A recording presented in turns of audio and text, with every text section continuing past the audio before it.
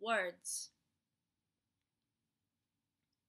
Sticks and stones can break my bones, but words can never hurt me. Words can never hurt me, said the teacher I went to. I was told that words can never hurt me. They said it gets better when you get older. But right now, I've got the whole school on my back, and right now they call me a cow because I'm fat. Right now they call me a nigger because I'm black. Right now they said kill myself because I feel sad. Right now they call me a bastard because I have no dad. And yesterday I wore a pink shirt to school. So today my locker says fag.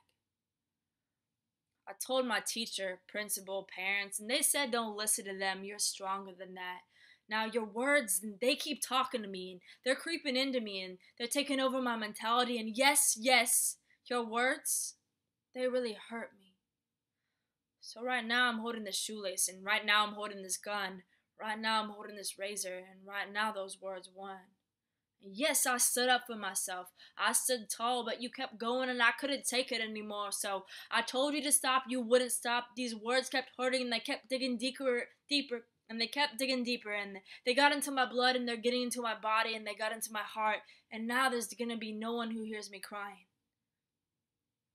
anymore. Your words told that shoelace to hug around my throat, to squeeze the love out of me.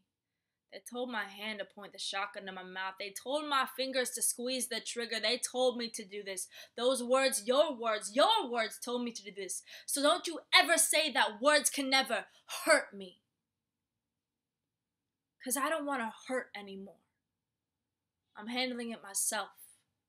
I may be a kid, but I'm smart enough to know this that words play in your mind forever. That words are the most powerful weapon of them all. They are the nuclear bomb.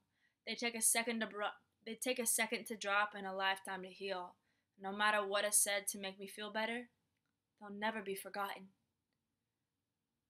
So when I'm gone, when I've made my shield forever, when I have solved the problem, your words these words, these powerful words, these words can no longer hurt me.